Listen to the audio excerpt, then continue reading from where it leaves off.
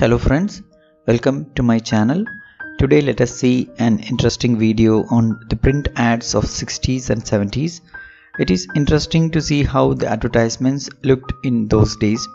These ads were taken from Rhythm, a Kolkata based art magazine and the Illustrated Weekly of India.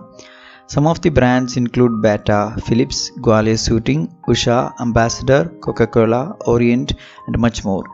I request you to watch till the end. Also do not forget to subscribe, share and comment. The video is presented as a slideshow. It was shot on mobile so kindly excuse the quality. Let's start.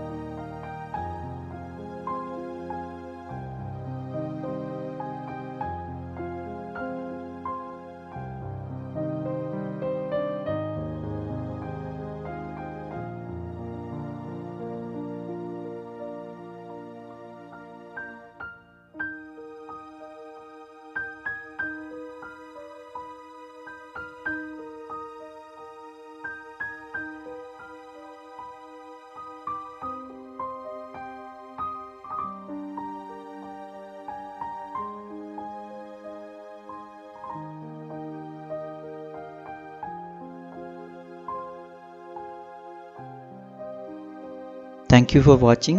Kindly subscribe, like, share and comment. We'll meet soon with another interesting video. Till then, goodbye.